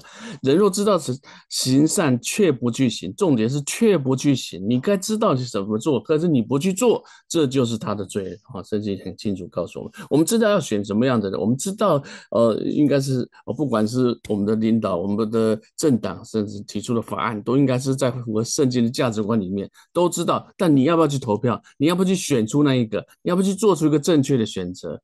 你若不去行，这就是你的罪哈，这就是你的罪哈。所以真的是我们基督徒都有这个义务哈，真的是来来来选举，用我们的选举，用我们的选选票。你不是只有选出一个国家的发言人是应该是怎么样的啊？总统当然是国家的发言人嘛，对不对？他应该是怎么样子的哈？这所做的啊，包括政党，还有说这些的提出的法案，都是应该在一个圣经价值观里面，还有对不对啊？我们真的是要选出怎么样一个？那你要不要去做做出一个正确的选择啊？箴言里面也有提到说，哈，公义怎么样使邦国高举啊？罪恶是人民的羞辱，是不是？怎么样让美国重回到一个公平、公正、公义，甚至是一个 holy、一个圣洁的国家？是是属神的国家，是真正属上帝的国家啊！在乎。每一位可以投票的人，那我们不能投票的，真的怎么样祷告，或者是说我们怎么样的参与在这当中，参与在这当中。你不是不能投票，我们就不能做什么？真的啊，我们有很多可以发声，我们可以去影响我们周遭的人。那有权利投票的人，我们可以像啊这几位这样子努力的发声，让大家清楚应该怎么去选。OK，好，真的是让我们美国重回到神的手中。好，谢谢大家。那最后我会请。一整或者弗利西亚，你们谁可以带我们做最后祝福祷告？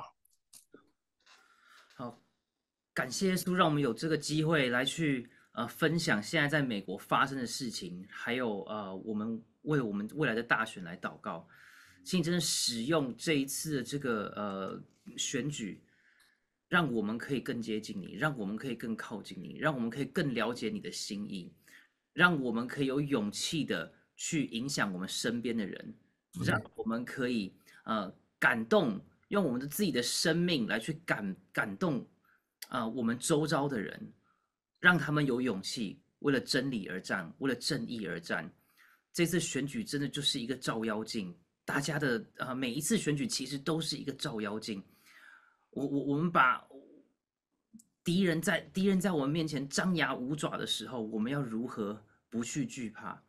我们要如何在呃民主可能我们身边的人跟我们的意见不同，他们全部都堕落的时候，我们要怎么样呃保持我们自己的圣洁？我们要如何跟这个世界分别为圣？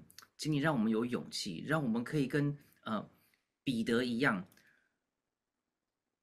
说金银我都没有，但是我可以把我所有的给你，就是耶稣。的这个呃，耶稣基督的名，我现在请你起来行走，请你让我们可以使更多的人起来行走，让我们不要只听到，我们要去行道，让我们有勇气，让别人看到我们的时候，别人看到的是我们的勇，我们的勇气，所以看到我们跟随耶稣，请你使用我们的这这一次的这个呃呃呃内容，让每一个人可以听得懂。